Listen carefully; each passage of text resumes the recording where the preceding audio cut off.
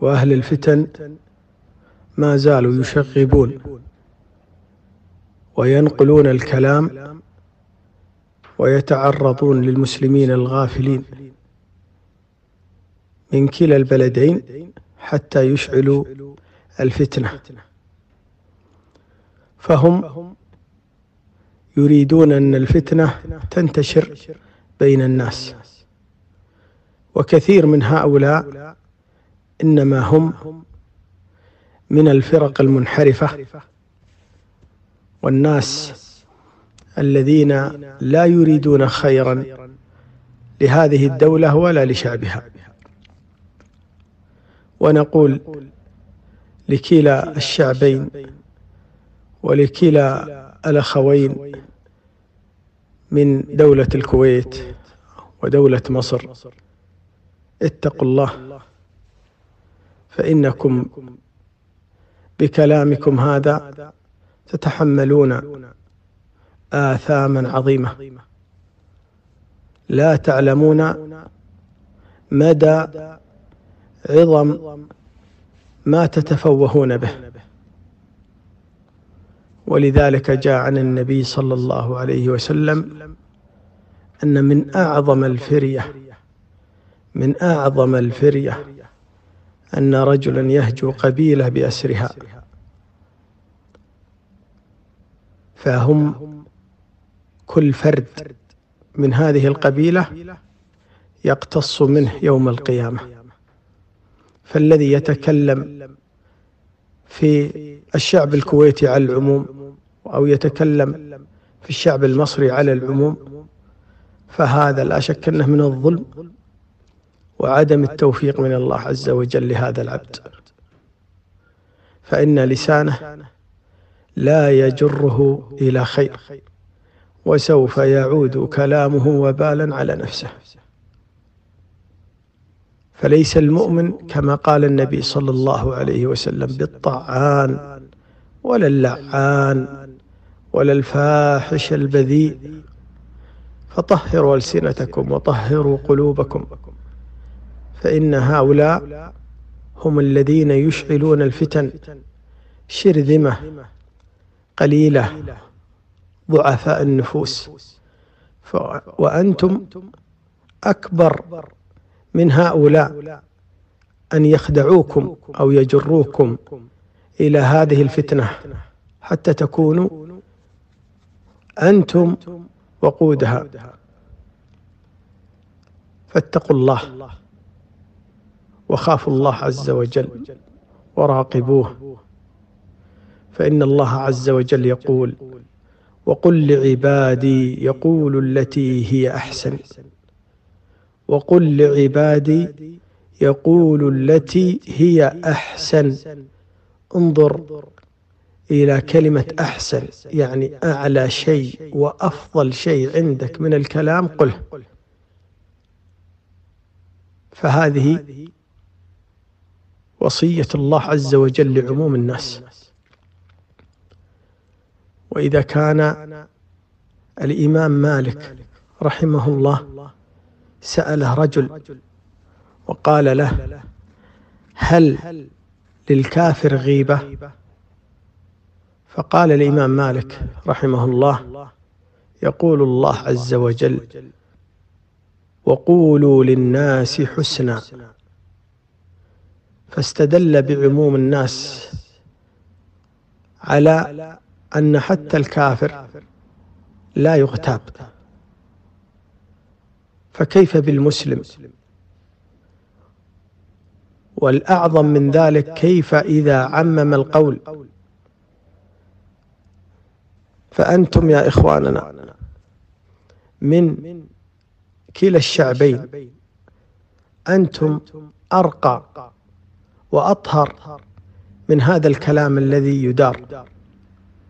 وتتناقله الألسن والقنوات ويبث عبر المقاطع. أنتم أعظم وأجمل وأنقى من هذا الكلام. فاتقوا الله ولا تجعلوا هذه الفتنة تمر عبر ظهوركم. فإذا أتتك من هذه الشائعات أو من هذا الكلام فاطمسه ولا تنقله ولا تذيعه. فإن هذا قد يكون يدخل في قول الله عز وجل إن الذين يحبون أن تشيع الفاحشة في الذين آمنوا. فقد يكون نقلك لهذا الأمر أنك تحب أن تشيع الفتنة وتشيع ويشيع هذا الفحش والتنابز بالألقاب بين المسلمين. فتدخل في هذه الآية. فاتق الله واحذر من كلمة ربما تجرك إلى سوء خاتمة. الحمد لله كلا الشعبين محب محبا لبعضه وقد غاض هذا الحب وهذا التآلف وهذه الألفة غاض بعض المنافقين وبعض الجهلة المغرر بهم والذين ليس عندهم من معرفة مواطن الفتن ومعرفة آثار هذا الكلام ليس عندهم شيء وليس عندهم معرفة فهم لا يقدرون الأمور ولا يقرؤونها قراءة صحيحة. فأسأل الله عز وجل أن يكف شر هؤلاء وأن يجعل التآلف والتراحم بين الشعبين موجودا هو القادر على ذلك. ولنجعل نصب أعيننا تقوى الله عز وجل. ولنجعل إمامنا وقدوتنا هو محمد صلى الله عليه وسلم. لما قال له بعض اليهود السام عليك يا محمد. فقال وعليكم. فاغتاظت عائشة من هذا المكر اليهودي.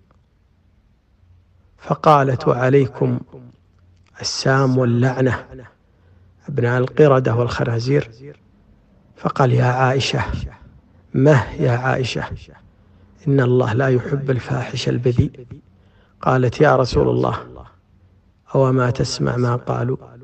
قال أو ما سمعت ما قلت فإني قد قلت وعليكم فإذا كان هذا في شأن اليهود المغضوب عليهم